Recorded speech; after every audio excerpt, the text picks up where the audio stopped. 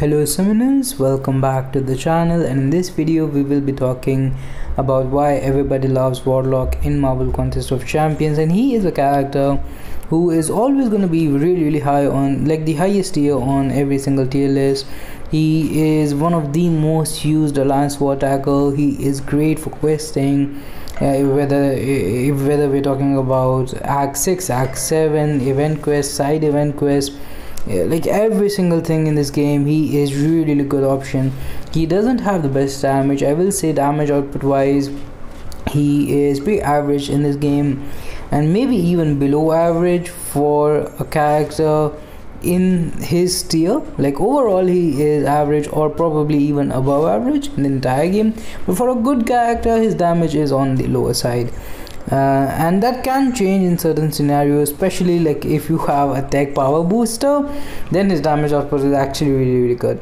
But uh, the, most of his damage does come from like the armor breaks and the hits after the armor breaks. So with a power booster you use your sp2 if you're back or very close to another sp2 it's gonna be great. Healing wise he has it it's not the best regeneration potential in the game but he does have it on the sp3 there is a lot of power control this character can do. Overall i would say they are better champions for power control as well. Like he's kind of um, he's kind of jack of all master of none kind of thing.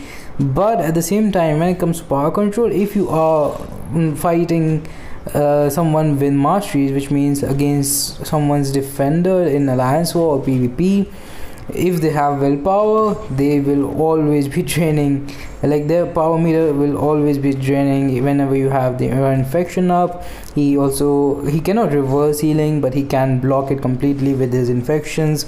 So again he can just handle an insane amount of stuff. He also has immunities. He has the armor up for your havoc matchups he has bleeds for uh, whenever you need damage over time. He, he can just do so many things in marvel contest of champions that he's a champion that if you have him you should rank him up. It doesn't really matter what kind of playstyle you like or what masteries are you running. We're not running suicides here by the way. This is also not the ccp beta uh, it is my main account because the ccp beta uh, hasn't gotten refreshed in a while. So even though i have a six star warlock on my main account i don't have him on the beta so yeah the only thing against him honestly is just the damage output. And it's not even that bad. Like he is definitely not in the noodle range. And also consider this is a rank 3 6 star. Uh, and this is an ideal scenario. We also have the fury from some synergies here uh, because of biohazard and stuff.